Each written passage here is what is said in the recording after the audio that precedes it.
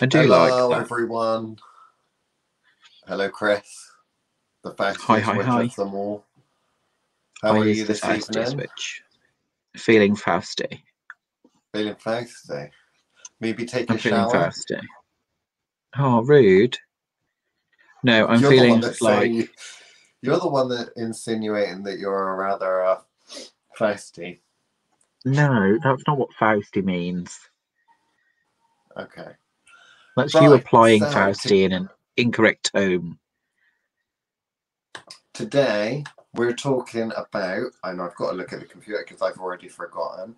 Magical protection, the very basis of ma- basics of magical protection. Now, is remember you always need to practice safer hex, right? So we might go a little bit into that.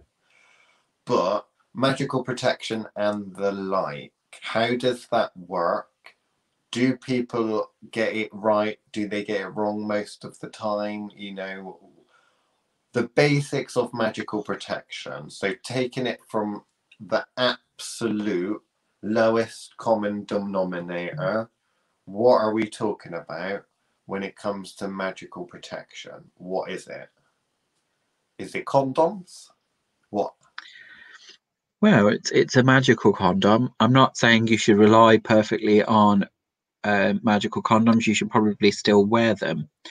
Um, but no, we're talking about uh, the basics of of magical protection.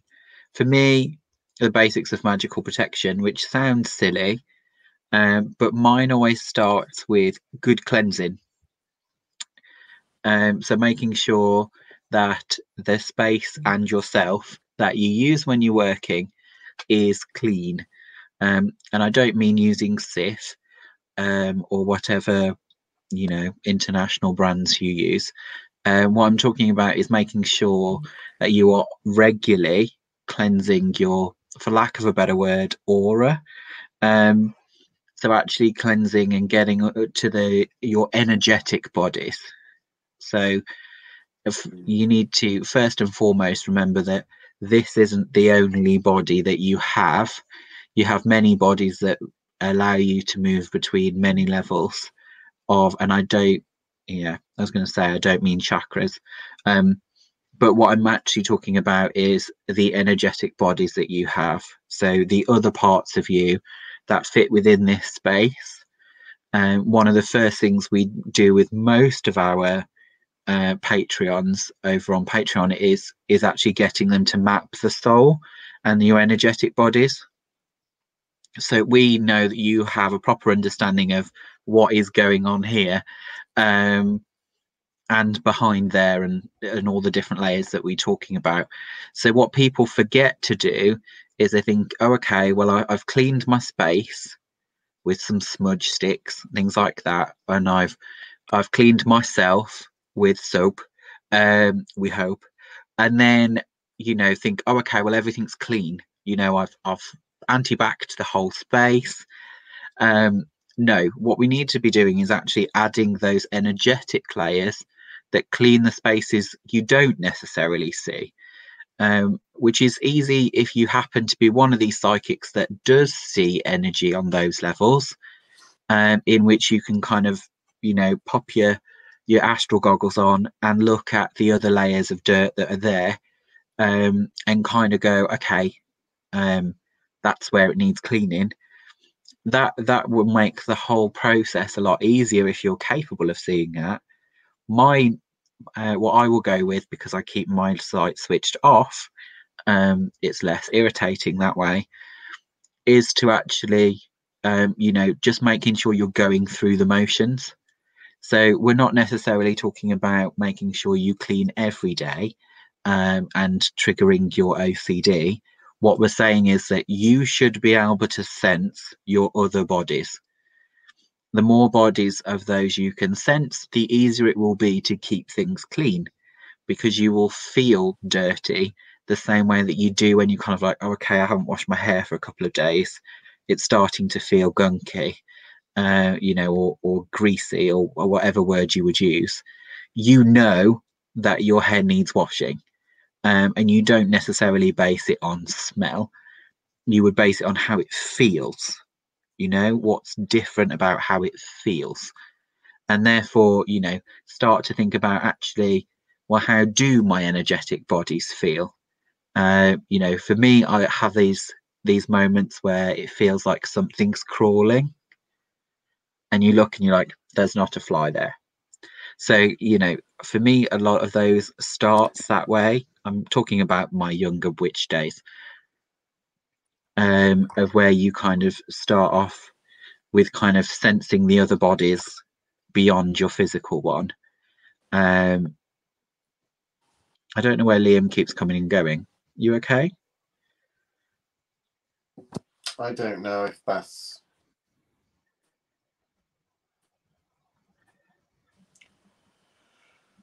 You've Are disappeared again.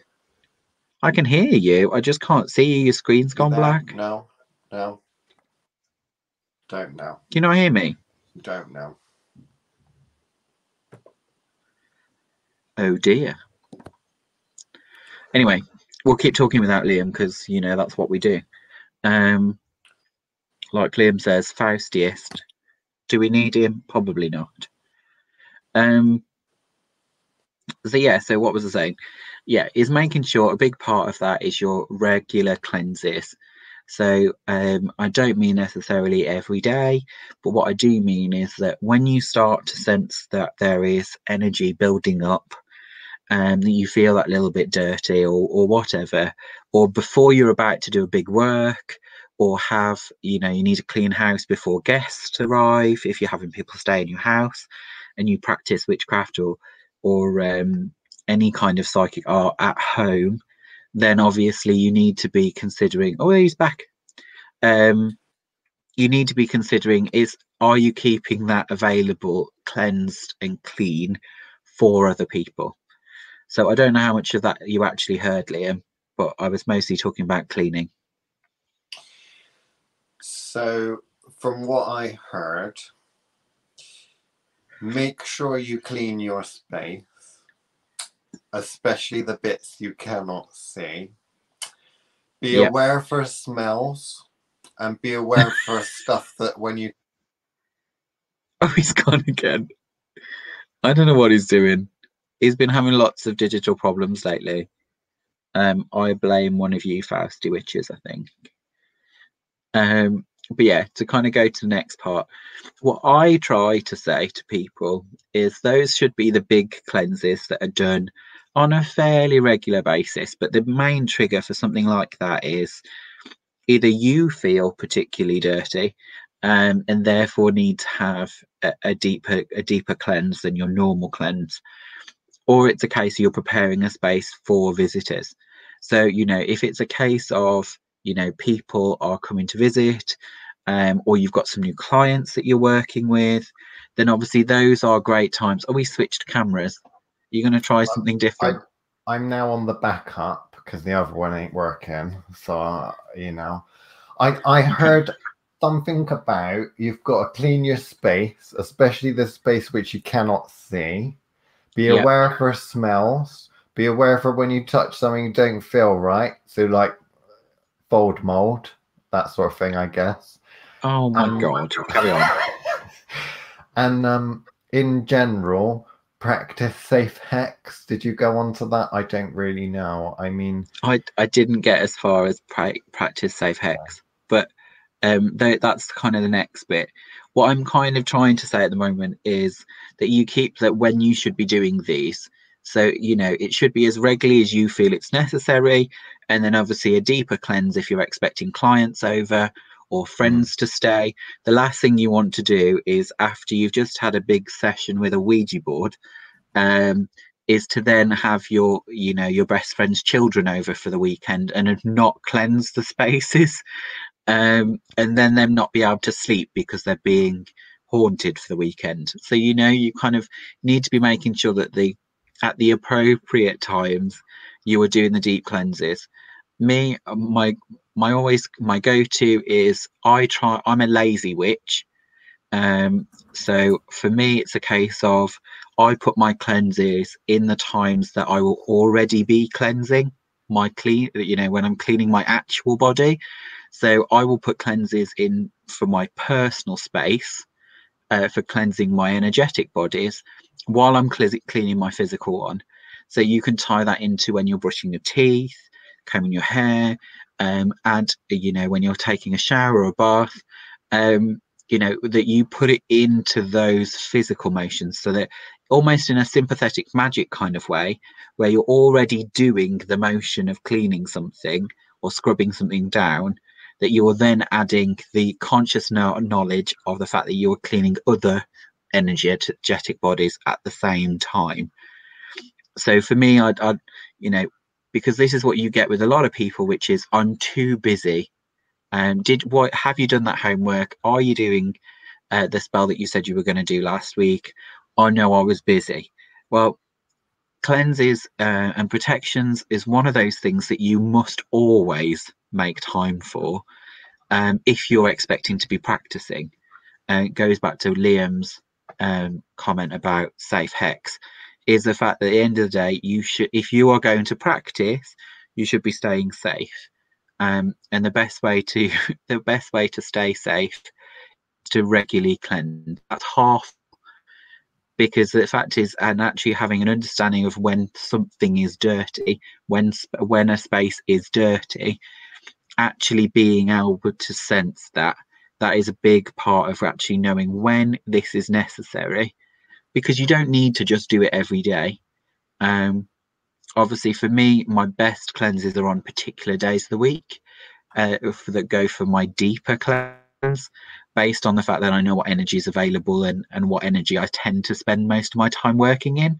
So I know when to kind of, you know, add the extra levels for that if it's part of my routine cleanse. Um, but obviously, yeah. So the the the big part is cleanliness. So is Liam officially with us now? I know that before a big session and after a session, I always like to clean and cleanse my space. Yeah. I'm I'm a bit I'm trying not to trigger you. So okay, we've done the cleaning part. How about Liam does the next bit of the chatty chatty about actual protection work? So talking more about warding and protection work. Okay, so if I go into that, but I do just have something that I'm worried, wondering: is there such a thing as a magical douche spell? Oh my god!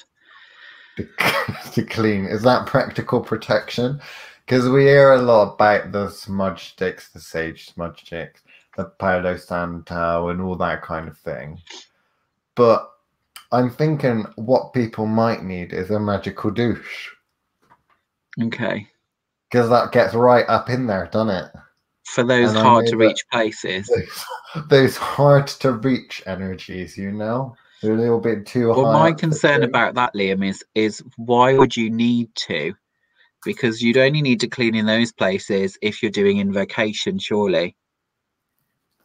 I don't know. Some of us don't feel clean unless we've scrubbed every orifice and energetic body. Some people okay. have OCD. Yes, you do.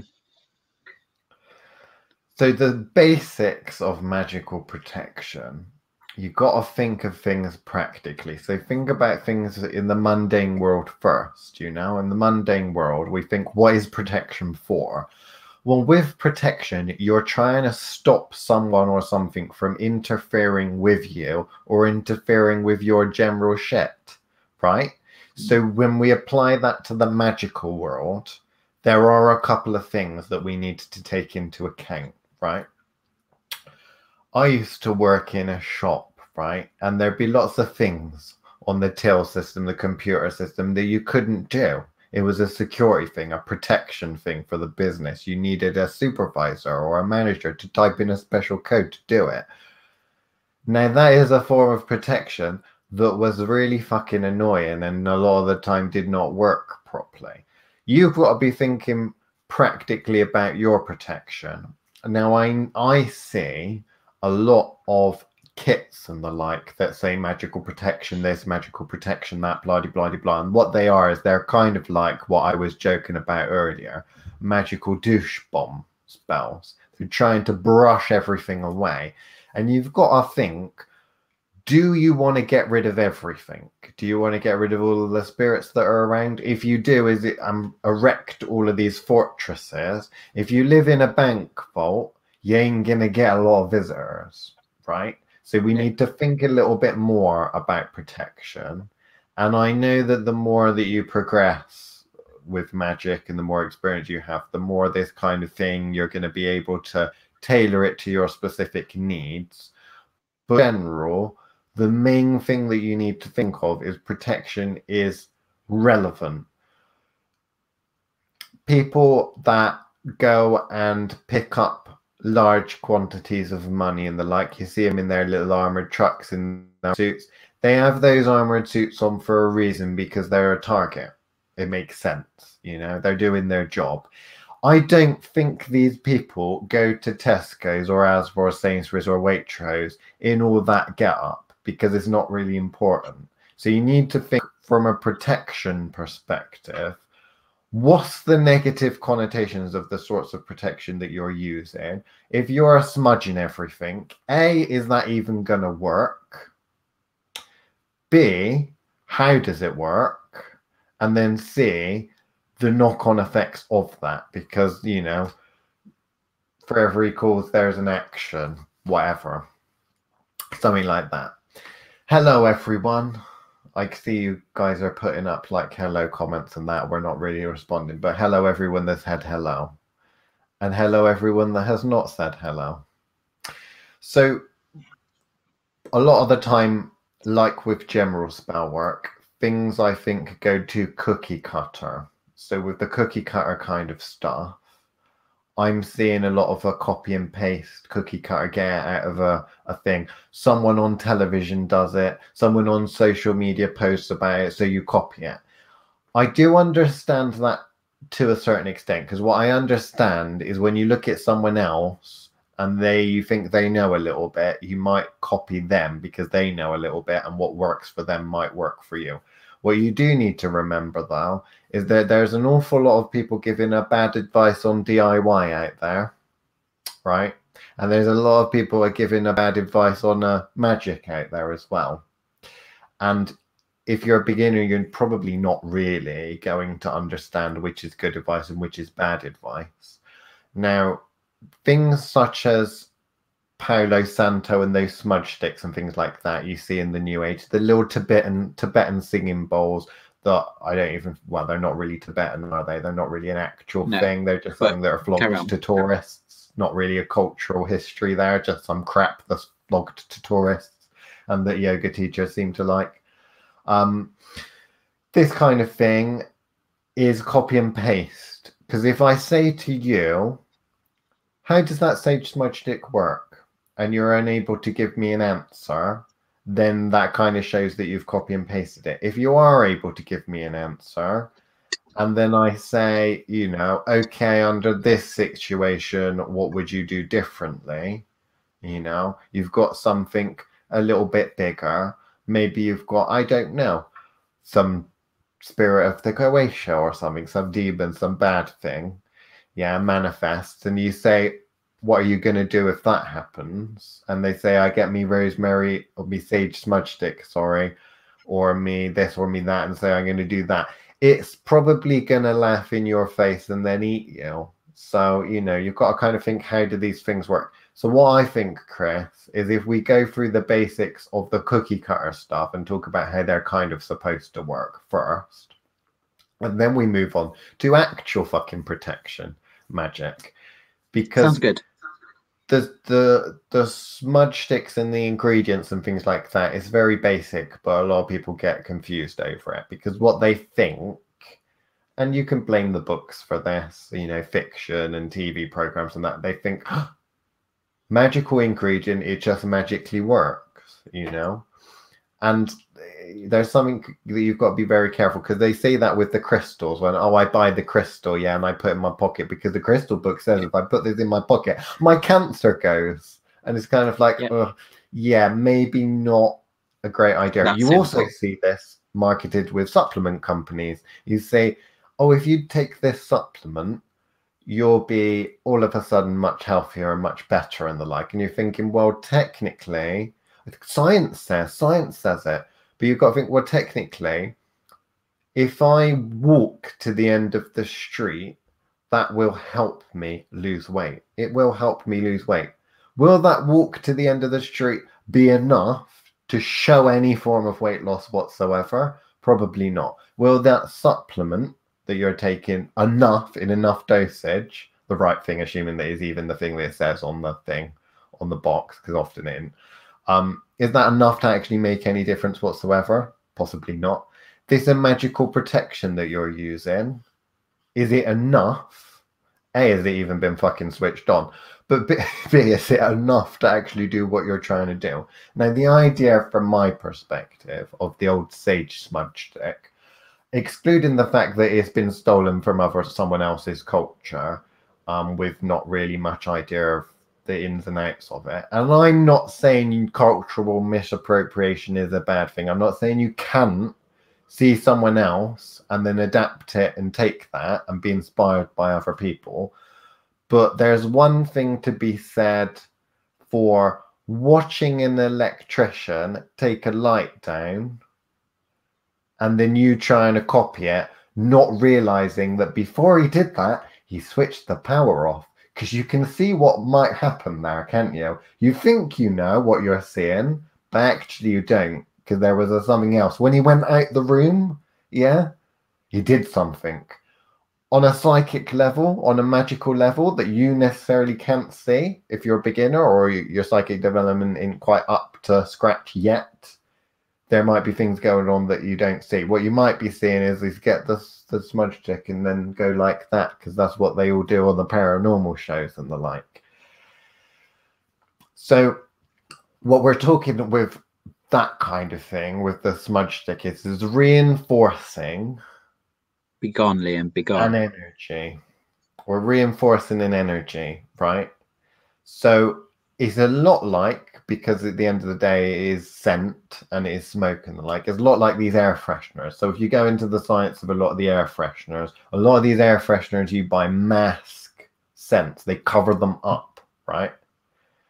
Some of them are odor eliminators and kind of get rid of uh, get rid of odor, but a lot of them cover them up. So the idea essentially for your sage smudge stick is that sage, of course, may give off a certain energy, but you're filling the room or the area or the space with that specific energy and you're pushing out that energy. So anything that isn't quite comfortable in that energy is going to either decide to vacate or get pushed away.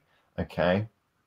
Um, it's like, okay, the current energy in the room is one that makes this specific spirit really likes it and is manifesting there really, really easily. When you have something like a fish, fish fishes get on really well in the water.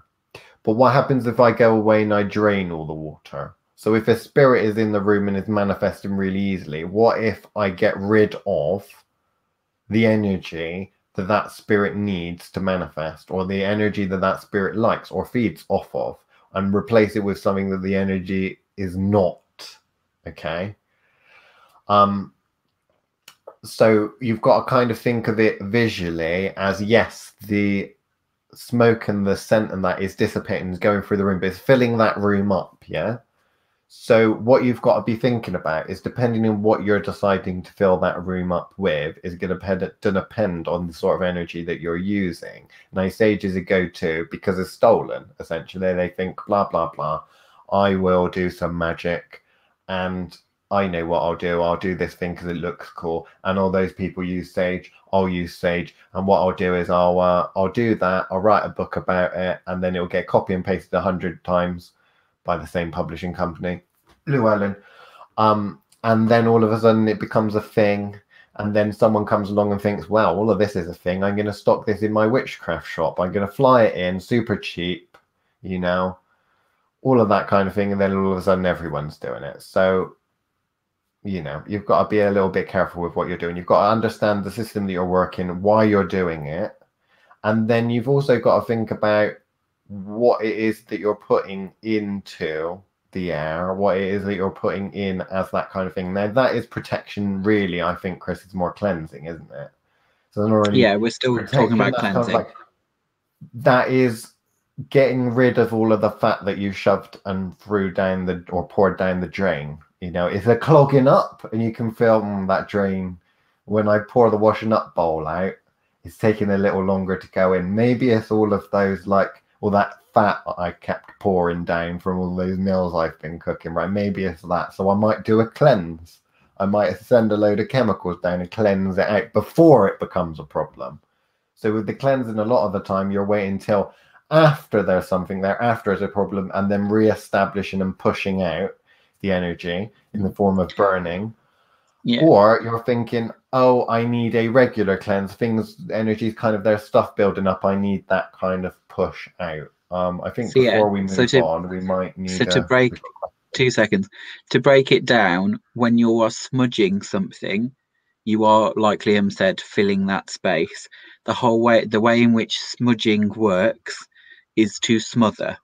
So it is to fill the space and push out whatever it is that is in that space. So when you are pushing, you when you are you are moving um, an energy that you do want, you know, the smudge stick, the energy that you want from the smudge stick is being forced into the space. And the idea behind smudging is involved is filling that space to the point that it pushes everything you don't want out of the space. So that's how, how smudging is designed to work. So when mm. you're you're forcing an energy in to push everything out. Yeah. So like I said, the danger that you have there is what Liam was getting at is that what are you pushing out? Are you wanting to push everything out? Because if you're going around waving your, your smudge stick going, I want it all gone, then don't be surprised when you have a black hole for a few weeks uh, and where other energies are trying to then fill that space up again.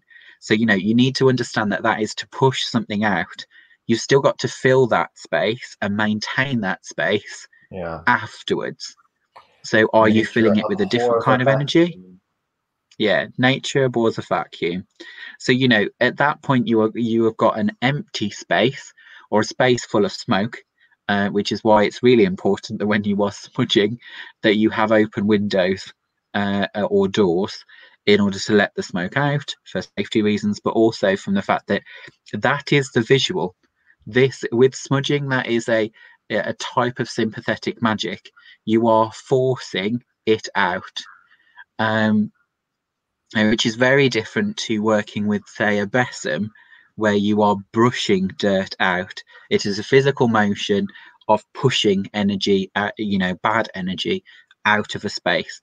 Those are two ways of cleaning, cleansing a space that you will const, you will con- uh, constantly see in all sorts of uh, you know paranormal magicy kind of programs that is exactly what it's doing it's about pushing bad out either by filling the space with with something else, smudging, or by forcing the energy out in an outward brushing motion, um, pushing energy out of a space.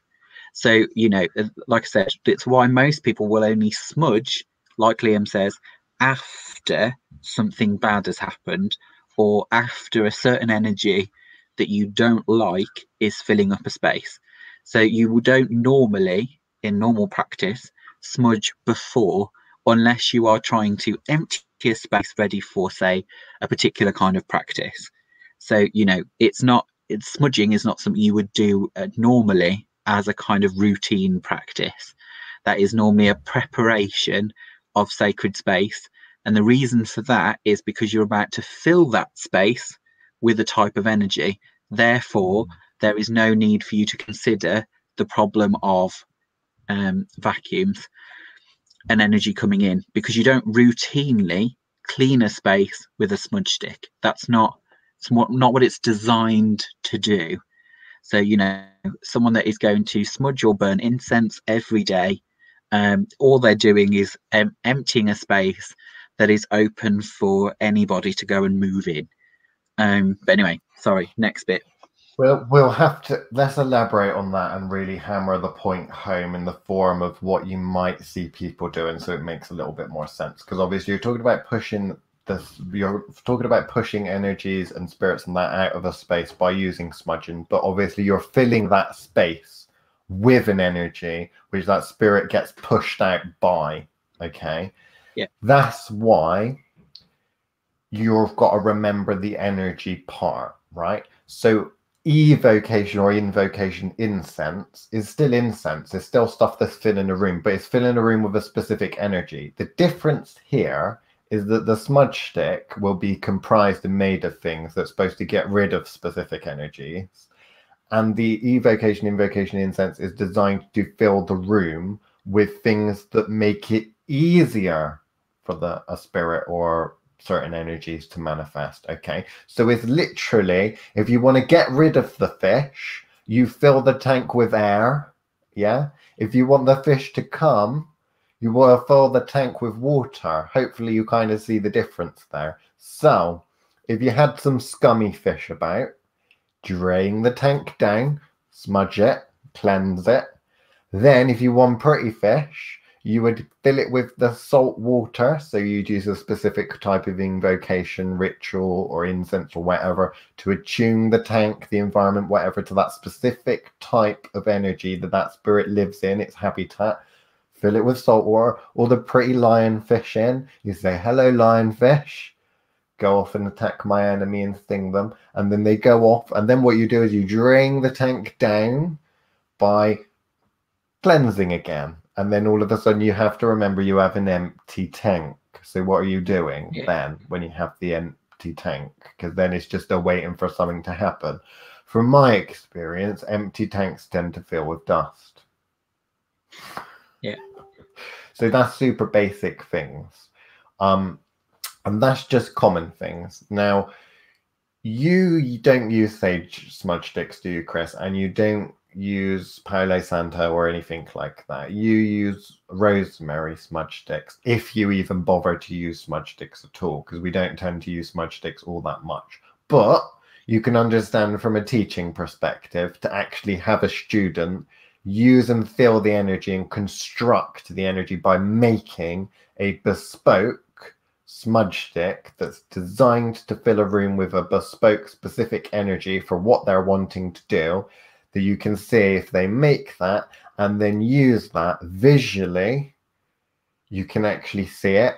You can feel it energetically in the room is a brilliant teaching aid, which is why we kind of use them. But remember, you're making specific energy for a specific purpose. So rosemary, you use that for your general light banishings because most of the time, let's be fair, if you've got a powerful spirit or a powerful practitioner filling the room with uncomfortable energy or energy that they're not liking is probably not really going to stop them. If I no. go bedtime, if I go and do a fart in a room, people may leave the room, but they don't have to if they don't want to. Remember that when you're doing a lot of the smudging, you aren't really forcing it. You're just making the room and then attuning it to a specific energy that makes it uncomfortable for the bad thing that's there. If the bad thing wants to, if it's strong enough, it will stick around, which is why basic protection like smudging and that, when you see people go and try to exorcise people and houses with this, the spirit might say, I tell you what, I'm going to fuck off for lunch and then I'm just going to come straight back. Or it might just decide to kick the ass of whoever's doing it. But there we go. Basics that they don't understand. I just go, I'll just follow you home instead. Yeah, that also happens. Hilarious. Um, so yeah, why don't you talk about a specific type of smudge stick that people probably aren't used to, with and why you've made rosemary ones and that kind of thing? Because it works on a couple of different levels, doesn't it? Yeah. So um, for me, I choose I choose rosemary, particularly because it's something that I work and know and grew up with. So, you know, it's not because all the books by, um, you know, Scott Cunningham tell you that you can substitute rosemary for anything. It's not though. It's not that. Um, the whole point of the fact is that this not is not just any rosemary. This is rosemary that's been cultivated in my parents' home for 20 years, um, that I've personally tended and and processed and looked after for those 20 years. So, you know, for me, it's a case of I have a very specific bond with rosemary as a plant. Um, and we won't go into plant allies today, but we could do something about that in the future if if people feel that that would be something that they would benefit from. Uh, we could do a whole month's worth of herbals. It's uh, it would take forever, but it is just a case of, you know, yes, rosemary is one of those perfect, um, you know, one that you'll find in every set of correspondences that says it's for protection. Um, but it for me, it works in a very specific kind of way. So, um, in the same way that they joke around, um, you know, loosely joke about cats sitting in both in both worlds uh, and being able to interact with the astral, rosemary is specifically good at astral. So, you know, it's good at penetrative work. Um, and by that, I mean, you know, it's very good at breaking into someone's mind, uh, opening up to possibilities, all those sorts of things that make rosemary really good. And the main reason for that is it's got camphor oil in, um, which is part of the woody part that makes that, you know, gets the really good smoke. Um, why it smells so good um, is that varying different plants will have different kind of levels of camphor oil. Um, but it's it's one of those things where it is um, it it works on various levels at the same time. So there's a reason it's a personal favorite of mine. I also like how it tastes. Like you know, there is a big part of when you're going to choose something for protection work, it should be something you enjoy. So I cannot stand the smell of desert state, desert sage at all. Um, it's taken me the best part of the last year to even tolerate it living in my garden. Um, I had three plants die on me last year because me and sage do not get on. So there is a there is a relationship that is built within the arrangement that I have, and when I ask Rosemary to do something like this, I, you know, it's working on a spiritual and astral level as well as working on a physical one. So, you know, the kind of the sympathetic magic of it pushing um, that energy out of that space. Um, you know, it is a it is a connection that me and that plant particularly have. So for you, it might you know, if you happen to be really well bonded with desert sage, I don't see how you would be um, unless you grew up in California or somewhere that was desert like, I don't see how you would have that natural connection with that specific kind of plant. So, you know, the main reason we go on and on and on about desert sage is because most of it's acquired illegally, even the stuff that is shipped around the world.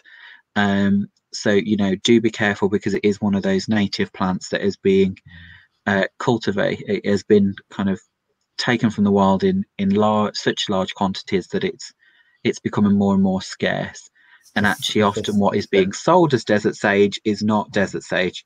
So you know there is that kind of if you've gone and picked it from your garden or somebody else's garden that you know then there is more chance of you going okay well i know what that is. I know where it came from.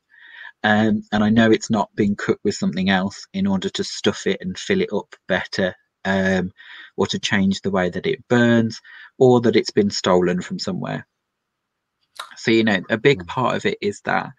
Um, but largely it's because I feel personally, if you are asking an ingredient to protect you, um, are you going to just ask anything that some book told you to do? So if I said, here you go, here's this cattle prod that Liam made, um, the question you would be asking is okay, one, do I need that kind of weapon? Two, do I trust that Liam knows what he's doing in order to manufacture said weapon? Um, and do I trust that he's, even if he does normally manufacture that well, is he going to manufacture it well for you? So, you know. Has he got evil intentions?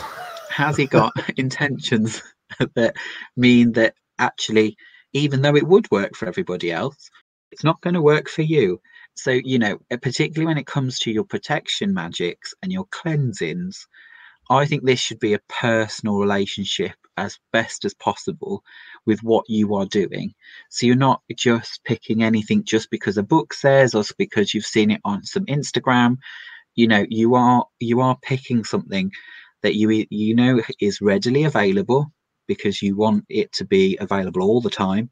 You don't want it to be something that you can't get hold of. And is it something that you enjoy? So for me, like like I say, I use it in my cooking. Uh, I use it in cleansing. I use it in all sorts of bath salts uh, and things like that. Like it, it, I could, I will never get bored of it. Um, you know, and that's a big part of it. Like again, I wouldn't personally use lavender, but that's because I don't particularly like the smell of lavender.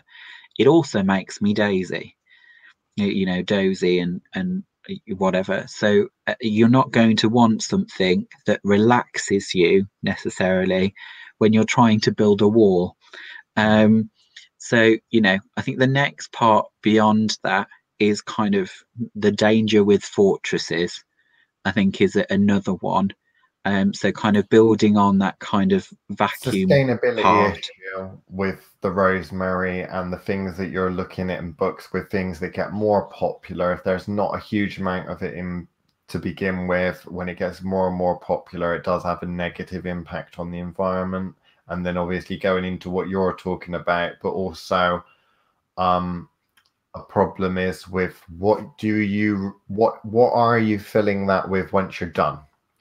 Clear it all the space, you fill it up with the energy you want to get the work done, you cleanse it, then what are you filling it up with? So another thing that hammers Chris's um I think methodology for how you create your smudge sticks. You go for very simple things and just use one ingredient normally. But think a bit like this. So the preset energy of the place that you're in, we're assuming it's your home, will be the energy mix of the things that are there. You replace the energy that's in your home. It should be a blend of all the people and things that live there the cat, the dog, you, your kids, husband, wife, whatever. So if you're creating a thing much like dogs and animals and like mark their territory by urinating, you're not going to do that because your house won't smell nice. But however, if you go around your house and you think, okay, so where where are the energy centers here? In my son's room, funnily enough, the predominantly energy in there is my son. In my room, the predominant energy is there is mine and my partner's. In the living room, it seems to be a little bit of a mix of everyone. Outside in the back garden, it seems to mainly be the dog, you know, all that kind of thing. You might not be able to pick that up what you're trying to do is you're trying to flood your fortress, house, whatever, with a basic energy that shows everything else that it's yours. So how you might do that in the form of a smudge stick in order to re-establish this is to think, okay, I'm going to be using my things needs to be burnable, but I'm going to be using something that is going to be full of our energy.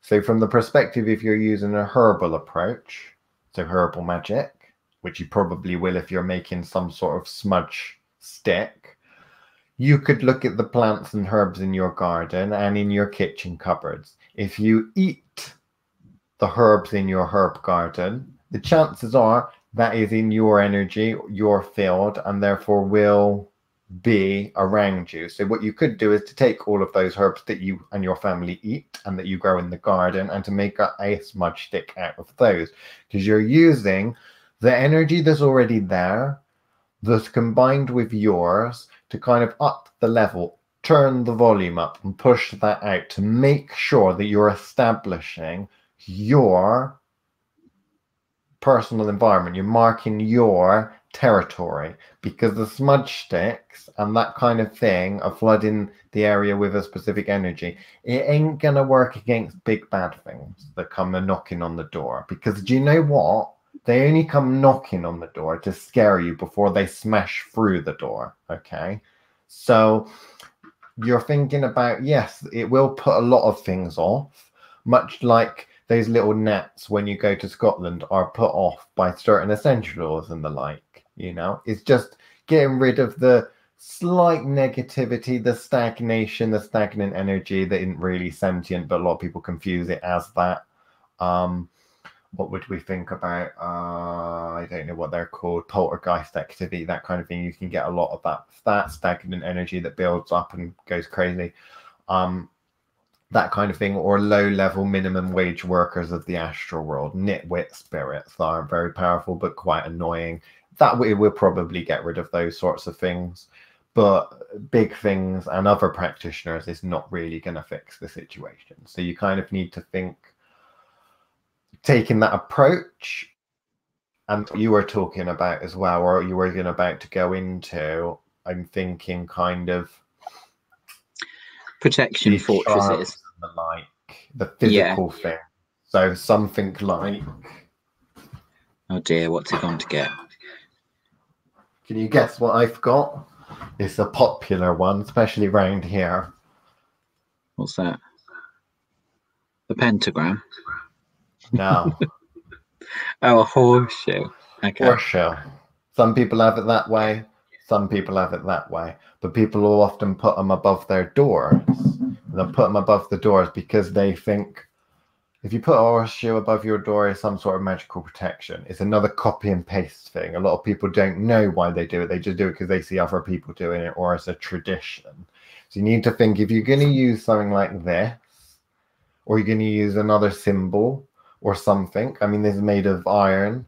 So you may be thinking that I'm going to use the properties of iron, I'm going to use the symbology, and I'm going to use something else to make this magic work. But remember, you need to be able to say how the magic works. Okay, you need to remember that kind of thing. Um, we've got a couple of questions. Do you want to do the questions, or do you want to go on for this? I, I just want to finish this point, and then yeah, we'll go to questions. Yeah. So the the the one bit people seem to kind of overlook is they do go straight to this word fortress. Um, so this kind of my house is my, you know, my home is my castle, that sort of thing. Um, and it's one of those things that needs to kind of make sense to you, which is lots of people think that, you know, big walls keep things out so, what they tend to forget, like the eggs, don't they? Light eggs. Oh yeah, surround eggs. yourself with a ball of egg energy. So well, the the like boundary, they seem to forget that the boundary not only keeps things out, it also stops things. Uh, you know, keeps things from getting in.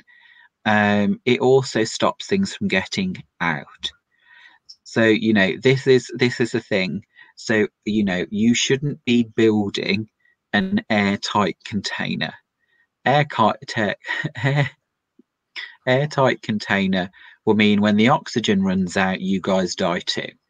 And what people forget is actually when you're building a grid system, um, that you need to be considering the fact that there should be a way for energy to flow through. Otherwise, you've always got the issue of cutting yourself off. So there are times when you want to cut yourself off, but they shouldn't be part necessarily of your permanent protections. There should always be a kind of on off emergency switch that you will need um, when shit gets bad. Um, but your general protections should be more like the mosquito net they let air go through, but they catch the bugs on the outside. Then you just have to cleanse them every now and again in order to make sure that there's still that free flow of energy. Because this is what tends to happen is people build themselves um, they build themselves these walls, and either the walls are too thick, so they can't get energy freely throwing, or they forget to clean the bugs off. So all those things that are connect, you know, hitting on the outside aren't getting in. Air's still flowing, but they're forgetting to cleanse. And this is why protection and cleansing are two sides of this thing that needs to always be kind of working uh, in tandem all the time. So the reason I bring this up is because lots of people think of you know putting walls up, uh, keep everybody safe, or you know they start working and they've got families, um, and they've got small children home and all that kind of thing. Um, and obviously ways around that is you don't necessarily want people to be bothering you at certain times. So you know you start to build think about the when you want certain types of protection. So for example if you've got sensitive children who are kind of coming into their coming into their gifts as they're getting older then you'll need to consider when do they need to be protected? Well they don't need to be bothered at school. So you send them with something that is going to protect them while they're at school so they can focus on their studies. But then uh, you know the time you don't really want to protect them, and that's probably going to find this weird for me to say, is night time. Um, and the main reason for that is your dreams are there to process everything that you've learned that day. And they're also your your kind of playground for you to play quite safely. Um, so you know, yes, you have to deal with the outcome, which is normally, you know, might be nightmares or something like that. But you don't want them to be cut off while they sleep. Um, you know, there is nothing worse than locking, you know, locking someone in a uh, in a vault when they're supposed to be exploring. Um, and I just kind of wanted to add that in because I know kind of lots of parents get all jittery about, you know, what they see and what they do and all that kind of thing. Um, you know, and by all means, always, you know, allow yourself to have a panic button some description and go, well, actually, you can wear what you wear at school and it'll stop it. But at the end of the day, they should only they should need to be able to switch that on and off when they want to, not starve them of their development. So I just kind of wanted to throw that in. Yeah, I think protection with the fortress idea, what we need to remember is that it tends to work better if protection's reactive and is activated yeah. for a reason. So you'll find that a lot of magical practitioners will have multiple. Oh, I feel like I want to sneeze, but I don't want to. multiple layers of protection. What people confuse is that they have a super layer and then they think I've discovered something new, so I can have an even more super supreme layer, and then I can add an even more bigger one. It's kind of like the idea of I'll have a concrete wall, and then I'll have a steel wall, and then I'm going to have some sort of a razor wire in front of it all, kind of thing. Not yeah. really how protection often works.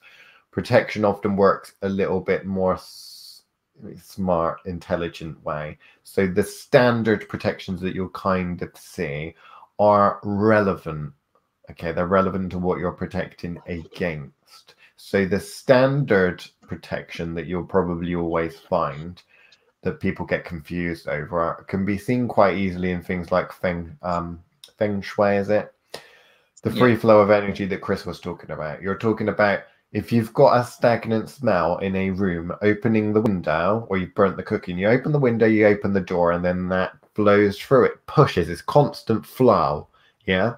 So having and stopping things from building up to start with, you want a flow of energy. So sealing the hatches is not really important to happen all of the time. You know, you don't have that all the time. You would have that specifically. Even an old fashioned fortress or castle, they don't have that it all sealed up all of the time. They can seal it up if they need to, but it's not all sealed up all of the time, right? The drawbridge ain't always up. It's generally down. Okay. Yeah. So you've got to think logically about what it is you're trying to protect against and then factor that in. And that will be dependent on what you're working with, what sort of attack you think that you'll be under, But the only thing that generally most practitioners will have is some kind of way to keep all the energy moving so nothing clogs up. And then relevant things that activate when they're needed. So when they're needed in terms of you activate them or some system that gets set up specifically. The only changes to that that you might see as permanent methods of protection may be something like this that some people put in. So, for example, if you have, and I'll use this as an example because a, uh, a, couple of you will probably be aware of the person I'm thinking about in terms of those utilize this very type of magic. If you know that the neighbor next door pushes out a lot of negative energy or a lot of energy is a, basically a dickhead, right? You could use as a form of protection a barrier. You're not necessarily going to make that barrier go all around your house and seal you in. What you're going to do is if the energy is coming from that direction, flowing through the boundary wall, the garden fence, whatever it is, you're just going to establish a block. When you go on the beach, some people take a wind block with them to stop all of the sand and the wind from coming from a specific direction. Okay. What you don't do is seal yourself into a tent. Because if you seal yourself in a tent, you're not really experiencing the beach, are you? So you take the relevant types of protection. That's what you've got to remember. There needs to be a reason for your protection. Okay. And it says a lot about you if you're sealing up all of the hatches constantly because you need to ask yourself wait a minute am i under doing that because i'm scared to death of everything am i doing that because i've been told wrong and that's not what i've been told to do or am i doing that because i'm under constant attack if you're under constant attack then that's the time to stop offending and to start getting rid of the fucking thing that is constantly attacking you Okay, so you need to wipe that out. Sometimes the great defense is a great offense.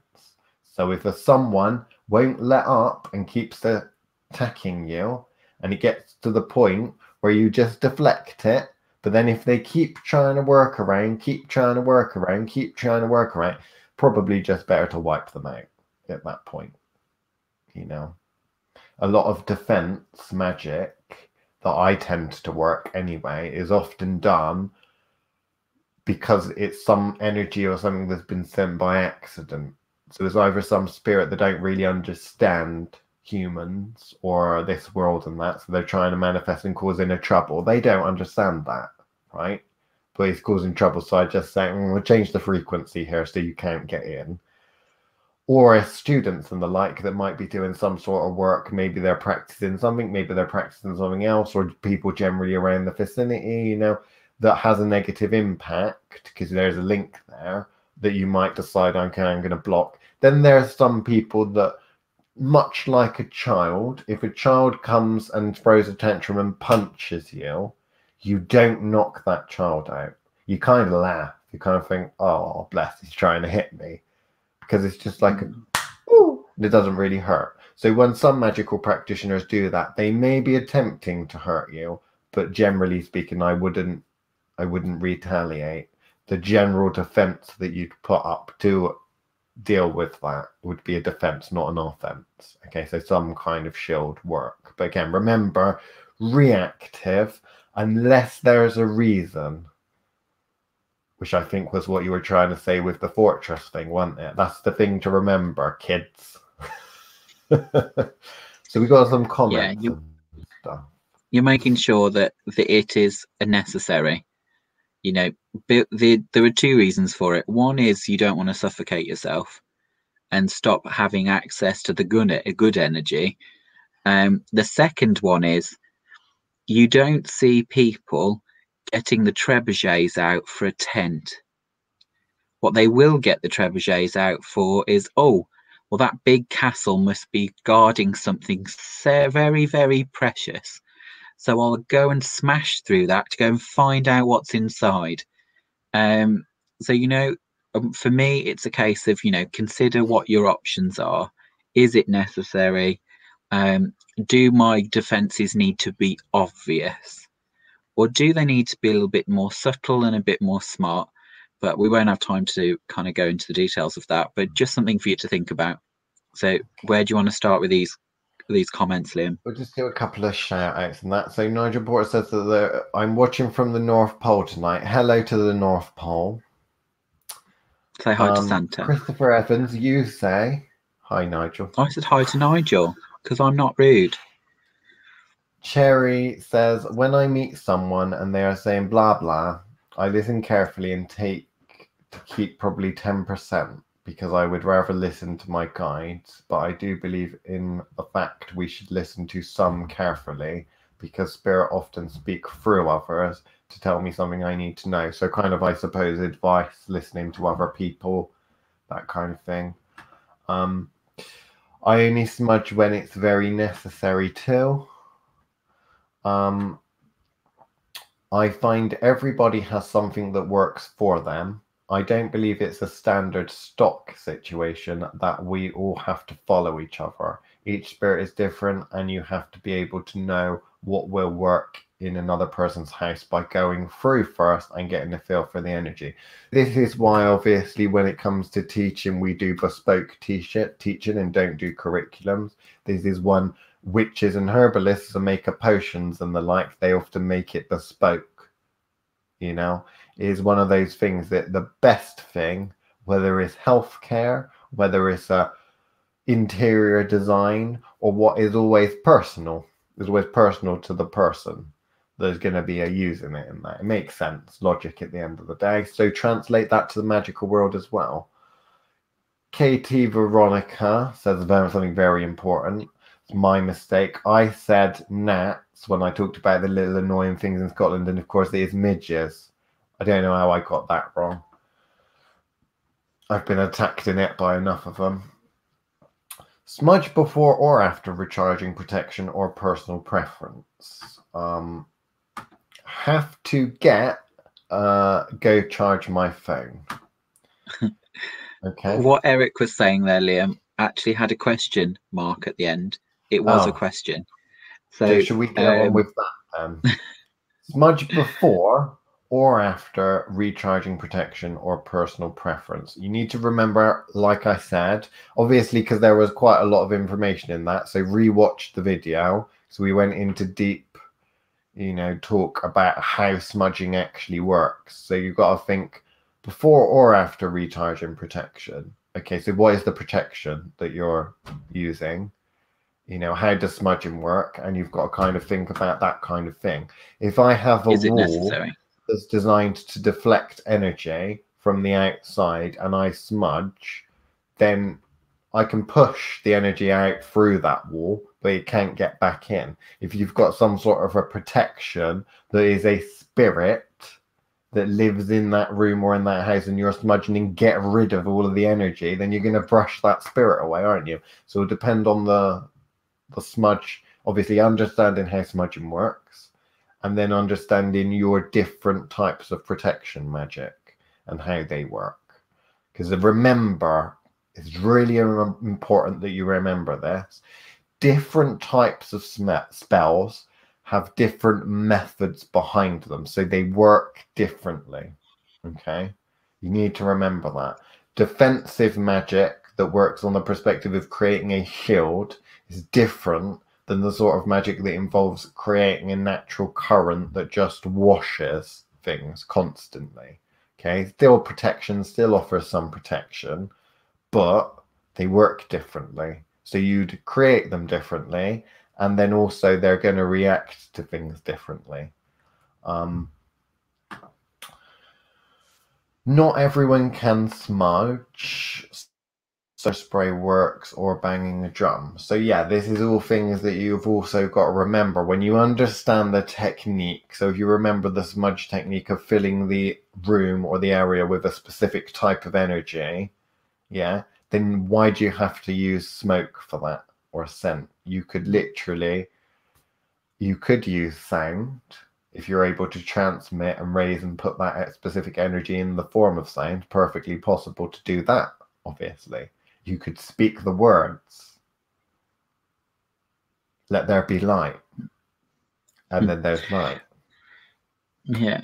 So the big the big one is the fact that obviously we've just covered smudging because that's the one that most people ask about. Um, we're talking just about generally about your cleanses, is actually Mhm. understanding the process of how that works. So if you are pushing energy out to expel, you know, you are filling that space with something, whether or not that be uh, smoke, sound, uh, you know, spraying salt water, etc. Um, you know, do, obviously salt water works in a slightly different method, which involves absorbing. Um, so I would be a little bit more careful with the salt water one, but that's just because uh, salt is that purification part. So you know, um, the same way that oust kind of grabs, uh, you know, grabs all the molecules, it still puts all those molecules on the floor. They don't just magically disappear. Um, so you know, when you're spraying with something, it is down. So then, if it's followed by, you know, a sweep out cleanse of some description, then great. Um, you know, where you're actually clearing that away. Just remember that there is the physics part of everything you do in the physical um, that balances with what you do in the magical. So, you know, but Mhm. yes, you could use smells. It doesn't necessarily need to be smoke. It could be uh, essential oils or you know any of those things. The the concept is what's important. Is that you understand how that it is emptying that space. And it's about what you put back in that space once you have cleansed something in that method um, you know, which is why we're saying it might not be something you need to do necessarily. Um, you know, just because you've got a wall of a protection, you've gone for the Moscow uh, mosquito net variety rather than the fortress. You've got to just figure out, okay, well, how am I cleansing the outside of this space? You know, one thing we didn't talk about, uh, which is another way of addressing that, is okay, I'm not going to leave that carcass of that dead fly or that mosquito on the outside. What I'm going to do is design a protection that eats those things. Then you don't need to worry about cleansing it as often if it's absorbing that energy and it is powering the, the protection itself. Self renewing uh, a shell that is you know absorbing that space but you know it really depends on how you work um there's also that thing oh, what's that other one the new agers like? Those light light they like things. And sandalwood as well is a popular one, I think now. um not the ones i was thinking about. I was thinking those they? those pink things. What are those pink things? Himalayan rock Salt salt. Lamp? salt lamps that one. Again they work on a basis of sucking it in to a specific place so you know you've still got to cleanse that place that it is sucked into. Um you know it's not going to just there is going to be something that needs to be done with it. Hmm. um but that's how salts work. They are sucking um it out in order to uh, purify the space. So you know how Yeah. often do you have to dispose of said salt? Or you know how are you having to to work with that Smudging and cleaning the space is one very tiny, very tiny part of protection magic. Much like installing a security alarm in your house is one small aspect of security. Security for the house. You may have a guard dog, which will bite anything that comes in the vicinity. You may have a protective spirit that oversees your house or looks after you, does the same thing. You may have locks on your door, so you may have magical barriers up that protect and physically stop something from coming in. You may have a CCTV that you can look at, so you've got kind of ideas of remote viewing and that kind of a thing. You also have, in forms of protection, you may also have things like a cleaning schedule. And really, the cleaning mm-hmm. spe- schedule, because it won't, cleaning schedule protects against the bacteria buildup and that sort of thing. That's really what you're talking about. Remember that smudging is not going to stop something coming in. Okay. so barriers and the like will help with that, but at the same time, it needs to be relevant. Barrier that you find a lot in the West Country. What do we have a lot of problems with in the West Country? The Fae. What do the Fae not like? Iron. Why do you think they use a lot of iron in places where they have problems with the Fae? Does that mean that because this is made of iron that it only protects against Fae? No. Does it mean that it's just the iron that does the protection? No. Swiss Army knives are more than just a knife, remember. You can make this do lots of things, might have lots of different modes and the like. I did a video on this. Cleansings can get super complicated. The more knowledge you have, the more sophisticated and stronger your protection magic's going to be. On average, the approach a lot of people tend to take is to take, okay, what is every energy I'm aware of, and can I make a protective game plan that incorporates that? They come up with the four element kind of thing, don't they, Chris? So whether it's the Catholics, mm-hmm. or whether it's the Wiccans, or whether it doesn't really matter. A lot of them will use four elements because they think, oh, okay, if I can get every energy that exists in this place and categorize it as four different types of energies, if I could create a protection ritual that utilizes all of those, I can get rid of anything. Of course, that only helps if you're trying to get rid of things within the system. There are things outside of the system that that will not work on. But there we go. This is just the basics. So whether you've got a ritual, for example, splitting the earth, air, fire, and water, they might utilize four things for that. They might say air, oh, I'll use some incense to represent that. I'll smudge with that and push all of the air type energy out. Get rid of that. I'll cleanse the air first. Then they might say, oh, okay, fire, what can I use for that candle? I will light up and I will create magical protection candles and that and have part of my cleansing ceremony ritual. And they think, I'm running a bit behind now. Maybe I'll just combine the water and the ground together. Water's water, ground, what can we call our oh, salt? Let's just mix the salt and the water together because I'm late for work, you know. Mix that together and flick it about, that kind of thing. You're talking about taking those specific energies and pushing them out. Do I use that approach? Yes, I do, but I don't use the elements. What do I use? Well, that's just going to take too long if we do that. But I'm pretty sure I did do a cleansing and protection magic video which deconstructs ritual cleansings and how they work. I think it's in the Witchcraft Live Facebook group. So go ahead and watch that. I think I did deconstruct the uh, idea of using because the Catholic Church uses incense and light and salt water, which is basically just water and salt, which represents the element of earth, and then the fire. So they all use these kind of four element systems. You see it all the time over and over again, but a lot of people don't understand mm. why. So I kind of deconstructed that. Um, obviously, smudge sticks generally they will use just air. So you're dealing with that. And when you get really into it, the four elements are bollocks anyway. It's a bit more complicated yeah. than that, but we tried to keep it simple by categorizing them in with four things. If you're a neo pagan, anyway, you know. I like a good purge, but more on that another time. Um, are there any burning questions before we kind of head off? Um, there's a mention there by um, Katie Veronica there uh, does the shoe have to be seen or can it be behind something? It depends on who it's there for.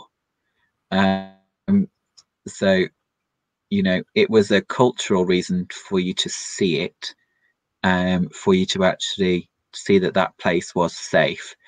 Um, if you're the only person that needs to is lit in that space who would understand why it's there, you don't necessarily need it to be seen. Um, but that's a personal preference there that really it really doesn't matter what matters is what it represents and what it's actually doing um, if you don't understand what the horseshoe is there for or how it works then it's pointless you using it but you know, That's what one of those things. say. If you don't understand, it, you'll be able to answer that question if you understand how it worked. Okay, so if you don't understand, then you need to understand how it works, or you can cheat an experiment. So see what it does with it on show, see what it does when it does when it isn't on show. So you need to think how does it actually work? Now I did one of these on the Thoth TV on our YouTube channel, Thoth TV. Um, I used one of these horseshoes to create a magical boundary. Okay, and that one was one of those things that was supposed to just repel things that were in its vicinity, essentially. So it was designed to be put in a room or in a space that had you know that area to protect that area to push things away from that area. Obviously i didn't just use that. I used an oil as well to go with it. Um i will probably is somewhere in the witchcraft live group i think but i will bounce that post to the top again because there's a couple of people that are asking about really old posts. So in the witchcraft live facebook group i'm going to reorganize them all and sort out in the guide section at the top um, but do we have any more final questions?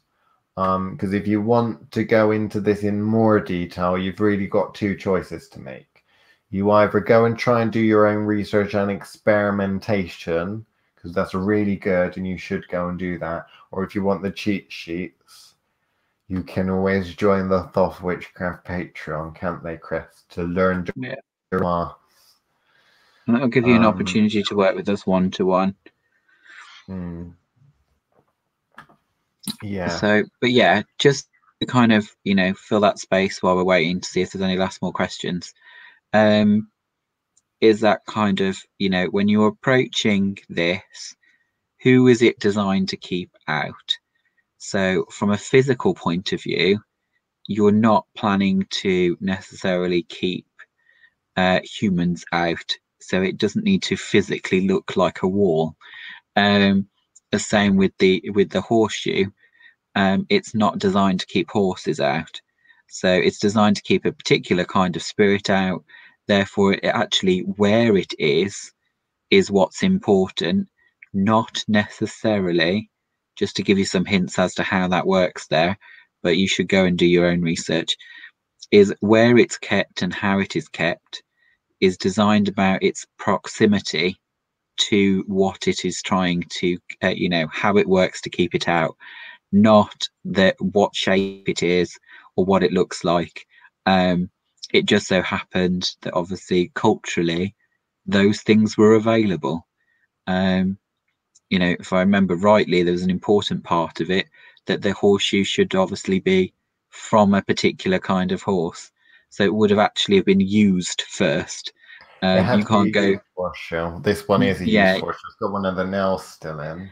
yeah. And the crud So you can't- I don't know if you can see that. you can't go and buy a fresh one from a farrier, um, a farrier, and well, then you could. If you designed the spell to work that way, you see, because that's the thing. This is the copy and pasting, isn't it, Chris? This is what people get confused by. Because when you, there are certain things like the smudge stick and like, or like things that you will see that work on a specific principle. But that doesn't mean that you necessarily have to utilize that magical object or charm or whatever with that magical principle in height. You can adapt it and you can change it. Yeah. Obviously, I changed. well, I'm talking from a historical point of view. from a uh, historical point of view. They Yeah. had to be used. Mm. Then you were talking about the the procedure and the tradition of going through that um, Yeah. specific. But yeah, that- but whatever you use, like Liam should said, uh, Liam said, is the fact that actually you should know how the principle works and Mm. why you selected the ingredient, whether or not that be a kicked horseshoe. Um, you know, there is that part for me that I like.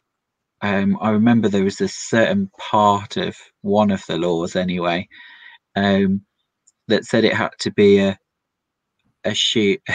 you know that you couldn't uh, either you could or sh- you shouldn't or could only use um shoes that had been kicked off Right. They weren't ones that were taken off the horse. Um, so I can't remember. I can't remember. It's it makes more sense that it would be a sturdy one that didn't get lost, but um, that kind of found item, I quite um, so. But it's one of it's one of those things because you have strange. There are strange ideas about how you should use something broken when you're referring to the Fae. So maybe you should only use a shoe that didn't work, so that it was kicked off in some way. But yeah, I, I can't remember. Uh, it's not something I use. It was a long time ago. I don't remember. Hmm. I'm personally never go by the traditions because again I'm one of those people that always likes to put my own stamp on it. So I'm always to a certain extent I might take inspiration from traditions, but I'm one of those people which would say if you're utilizing traditional magic, i.e., copying and pasting without knowing what you're doing, that isn't magic. That isn't serious magic. That's superstition. You are copying yeah. something that's worked for someone else, hoping that it will work for you. And in the real world, that doesn't work out very well. If I have someone that I copied their diet because they look healthy, and yet they're on a really, really crazy ass weird diet because they've got something wrong with them, the chances are I'm probably not going to take that. My friend, yeah. she's on some very serious pills. I could look at those pills and think, well, they make her better. I've got a headache, I'm going to take those pills. Really, what you're talking about magically is the magical equivalent. Is oh, that person's doing that thing. Don't really fucking know why they're doing it or what works, but fuck it, I'm just going to copy it. And a lot of the time with magic, you'll get lucky and it simply won't work. However, sometimes yeah, you yeah. do it and interesting results. yeah, yeah. So you've got to be careful. Remember, always do something, or when it, whether it, regardless of what type of magic is, whether it's protection magic or what, always do something when you know the principles behind it. If you don't know the principles behind it, remember that's experimentation experimental magic and you need to think of the risks associated with that because you are experimenting fucking about to see what happens okay? And i'm not saying you can't do that but you need to be aware that you're doing that and making experiments and the crazy mad professor should know if they mix two chemicals together to see what happens an explosion might occur. They can't turn around and said, "Why did that happen?" You know, which a lot of people do. A lot of people are. I mean, we get too many clients that come and say, "I did this spell online and it fucked up. I did that online, it fucked up, or I saw this and it fucked up." You know. Anyway. Most of them are because most of them because you they don't tell you how to dispose of magical use. Uh, you know, used magical yeah. just yeah. To be fair, yeah, a lot of the copy and pasters, the magic just don't work in the first place, luckily. Mm. Um, but there are a lot of ones where, uh, yeah, you get the odd one where it really is an explosion in their face. And then a lot of the time it is that they don't finish the spell or they don't start the spell. A lot of the uh, people that do the copy and pasting, of course, um, you've seen it, Chris. They do the physical aspects of the spell. They do the stuff that they light the candle, but they don't do the extra stuff, the energetic stuff yeah. that the normal mundanes can't see. They just light the fucker and think, yeah, I lit the candle. The magic ain't no working, you know? But there we yeah. go. So I think that's it for this week. Obviously, Fausty Witches show with us is brought to you by the Keap On Chatting Network. We do this every week at eight o'clock, near enough eight o'clock anyway.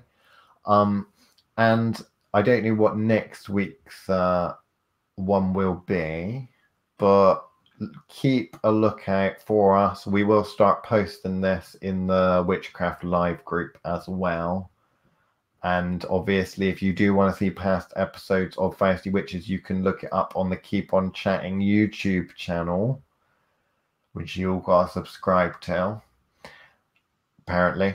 And you can also look it up on the Keap On Chatting Facebook page.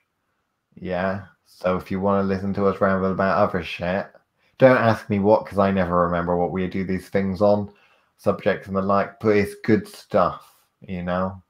And if you also are in the mood for anything in general paranormal related, then also, of course, check out the Keap On Chatting YouTube channel because there's other shows on there that are of a paranormal nature. Okay, they're not as good. They're as not all witchy one. like us. They're not as good as this one because we are the best, you know. We are and I far. say that being amazing. completely unbol- bu- uh, unbiased, but they're almost as good as us.